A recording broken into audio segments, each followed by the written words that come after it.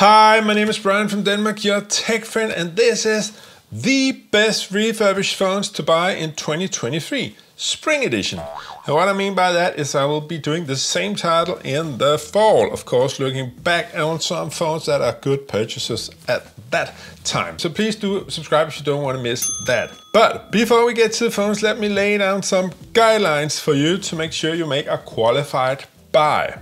Refurbished phones can be bought either online or at a store, and I urge you to buy them in a physical refurb store rather than online, because then you can take the product into your own hands and make sure how it feels and if you like it or not.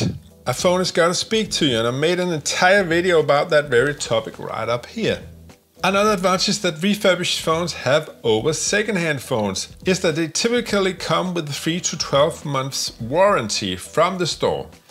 If you buy a normal second-hand phone, you're at your own peril. So, get in the store and get a feel for the phone. A feel for you. I think I love you. As a phone reviewer, I've bought lots of second-hand phones. And a thing that is particularly hard to recognize is the screen's wear and tear. Does it feel worn? Does it attract fingerprints easily? If so, then it's too worn. Find another. And you can't tell that from pictures of a phone online. Look carefully at the phone you want for what state it is in.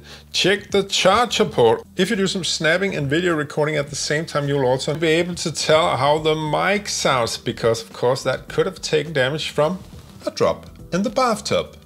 Now, what refurbished phones should you buy? Speaking here from the spring of 2023.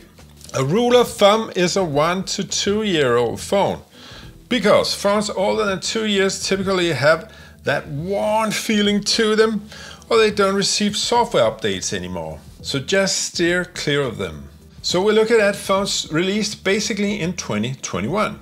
And a must here in 2023 is that they will still receive Android and security updates or iOS updates. So here are my top 5 refurbished recommendations for the spring of 2023. Phone number 5 Sony Xperia 1 and 5 Mark III's. These were Sony flagship phones from 2021 and can be found greatly discounted because Sony phones don't retain their prices as well as iPhones and Samsung.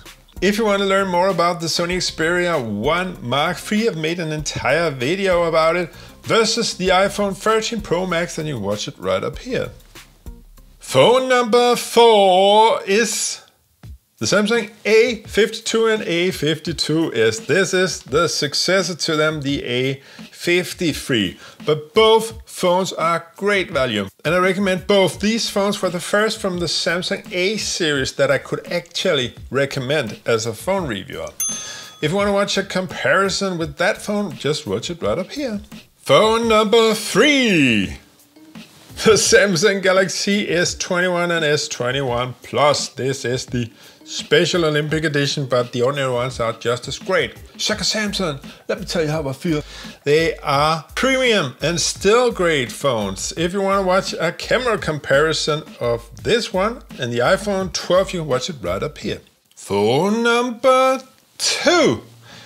Are any iPhone 12 or iPhone 13 those are sure buys. I really can't recommend any of their predecessors because now battery lifetime is gonna be a problem. This is the XR. That is, of course, if they're still with the original battery inside of them. They could have been changed, but you got to learn about your iPhone's battery health before you buy an older model. I would say anything above 90% there, then you're good to go also with these older models. But I really won't recommend them because also build quality is not gonna be as great as on the iPhone 12 and 13s. And the reason why the iPhones do not hold the top spot on this list is because of the pricing. They are very expensive, even in the refurb store. Before we get to number one, I also just want to do some honorable mentions. The Google Pixel 6, this is the 6a, but the Google Pixel 6, the OnePlus 9, not the Pro model because that just burned through the battery like hell. The Xiaomi Mi 11, all from 2021, and they are good phones that still get software updates, but they are all just beaten also by this phone. Phone number one, the Samsung Galaxy S21 Ultra. Still the best Android phone I've tried to this date.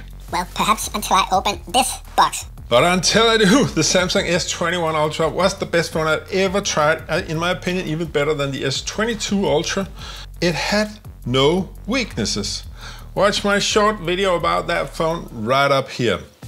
Remember to subscribe to get more refurbished phones recommendations coming this fall. My name is Brian from Denmark, your tech friend, and I'll see you in the next one. My, my, my, Delilah.